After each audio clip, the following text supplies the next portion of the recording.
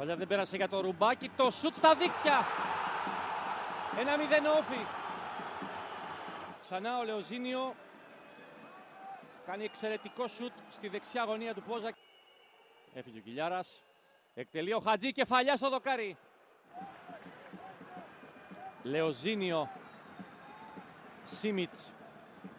Δύο του όφι με τρεις του Εργοτέλη. Ωραία ο Σίμιτς το σουτ. Η κεφαλιά 2-0. Ο Πόποβιτς το 40. Ο Όφι έχει 2 στα 2 στην επίθεση. Η φάση αρχίζει από την παλιά του Λεοζίνιο στον Σίμιτς, ο οποίος έχει χώρο και ταλαιπωρεί την άμυνα του, α, του Εργοτέλη. Ρουμπάκης. Δεν υπάρχει offside. Ο Σίμιτς πέρασε, πλάσαρε 3-0. Ο Σίμιτς το 44.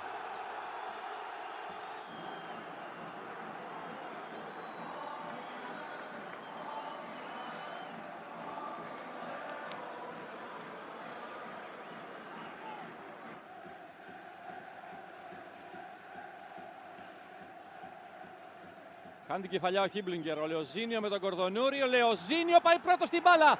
Περνάει πλασάρι 4-0. Στο 47 στις καθυστερήσεις.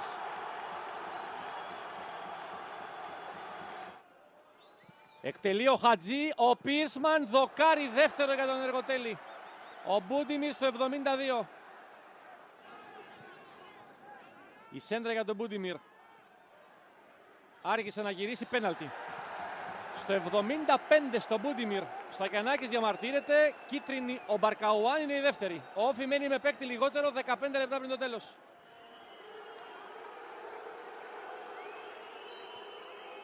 Εδώ ο Μπούντιμιρ με τον Αρβανίτη και τον Μπαρκαουάν. Στα βρύδι της ότι υπάρχει κράτημα εδώ στον Κροάτη. Εκτελεί ο Ζούνιορ. 4-1 στο 77.